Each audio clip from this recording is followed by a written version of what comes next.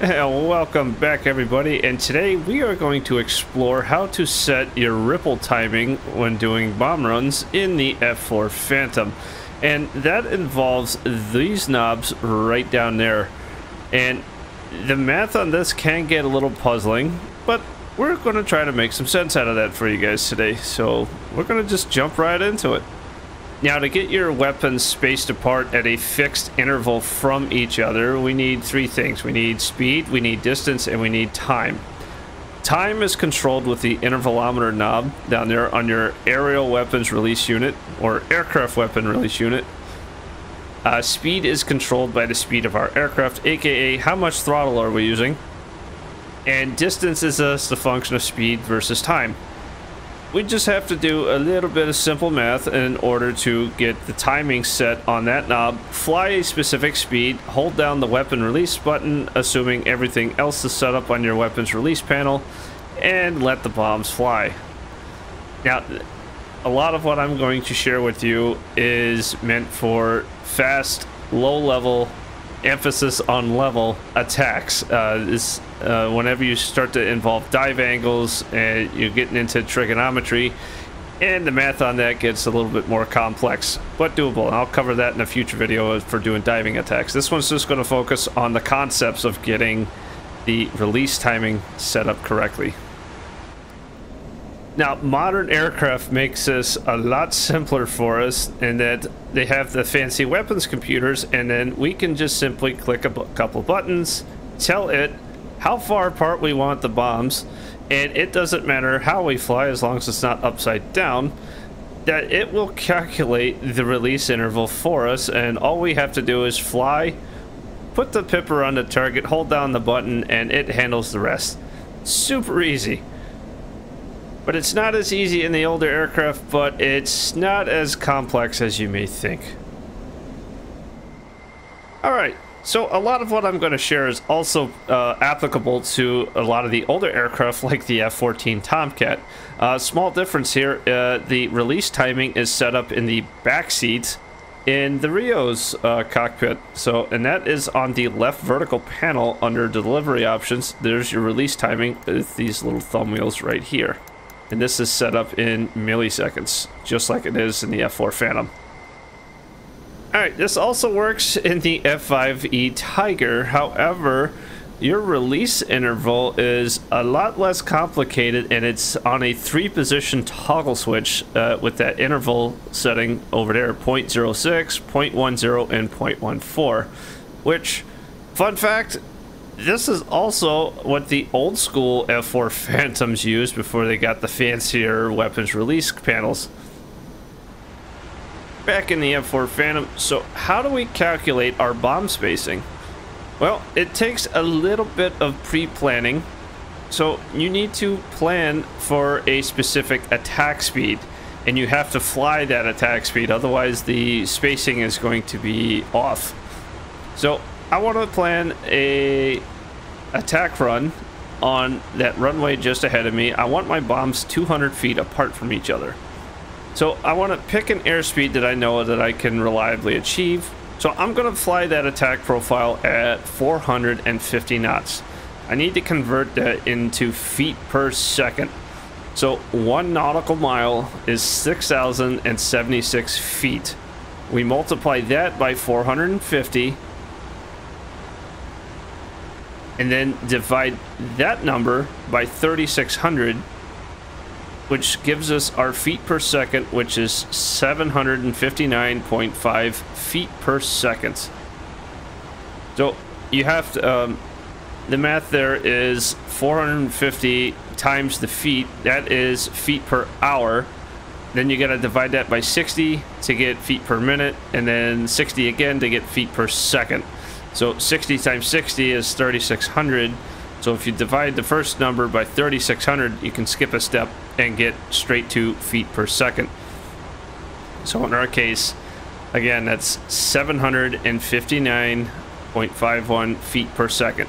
So now that we know how fast our aircraft is flying through the air at 450, which again is 759, we know our we know our planned uh, bomb spacing, which is 200 feet. So 200 divided by 759 equals 0.26332 seconds. So, and we can round this. You don't have to be super precise. You do want to get close, uh, don't get me wrong, but you don't have to be super precise. So, 0.26 seconds, and then we can come down here on our interval knob, wind that around, and just a smidge past 0.25. That'll do. Alright, now that I got about 0.26 set on my interval knob, let's go ahead and set up the rest of the weapons. I'm carrying 12 BLU 107 the Durandal anti-runway bombs, so I'm going to release all 12 in one go. So 12 bombs on my quantity. Set to bomb mode, I'll go direct. I'll have them on the inboard and center pylons and make sure you arm your fuses. That is the switch that's kind of tucked in behind the clock. Very easy to overlook and forget about. Otherwise, your bombs will not go boom. All right, lastly, master arm. We got our arm indicators, pylons are armed. We are ready to go. Now, uh, the reticle is not as important in doing these low-level fast runs, but I like to dial in 100, so it's just a little bit more about where I need it as far as getting them a good run in. All right, I'll come off active pause and let's do this. So if you are dealing with any sort of winds in your mission, don't reference the airspeed gauge. Look over here in the corner for true airspeed. The closer you can get to your pre-planned attack run, and in my case, I'm trying to shoot for 450 knots, I'm a little too fast. So if you're faster than planned, your bombs are going to be spaced farther apart. If you're slower than your planned speed, they're gonna they're gonna fall a lot closer together. So I need to slow down. The tighter that you can get to your planned attack speed, the more accurate that they will fall where they need to be based on your calculation. As I'm lining up for this attack run, coming in nice, fast, and low. So I'm doing an anti-runway attack. So for those that aren't aware, uh, anytime you hit a runway in DCS with a bomb, the AI cannot use that runway for an hour.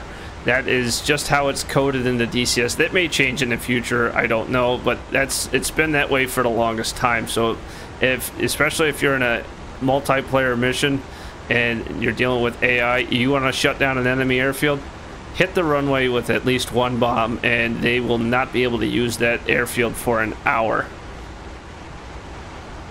Now, craters will damage landing gear, so any human-flown aircraft, you uh, if you hit a crater with the landing gear, you have a high likelihood of damaging your landing gear. Uh, and that includes uh, taxing over that. You can uh, collapse a strut, and we've done that with the Warbird sometimes. Alright, coming in, nice, fast, and low. A little slower than planned, 444. Trying to get 450. Pretty darn close.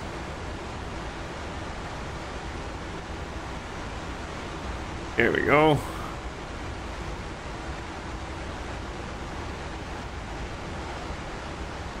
These fast low level runs are pretty cool. I love doing these, especially with high drag bombs or these Durandals. They're just they're just fun. And pickle and hold.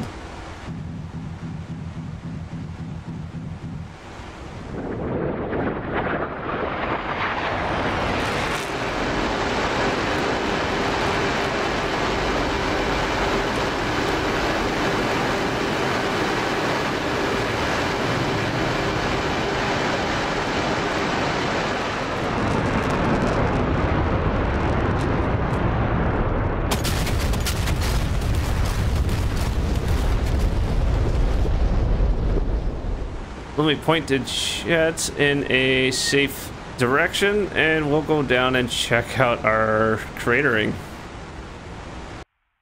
I'd say we did pretty darn good with that. There's all my craters starting from the first one. One, two, three, four, five, six. I'd say we achieved a pretty good spacing.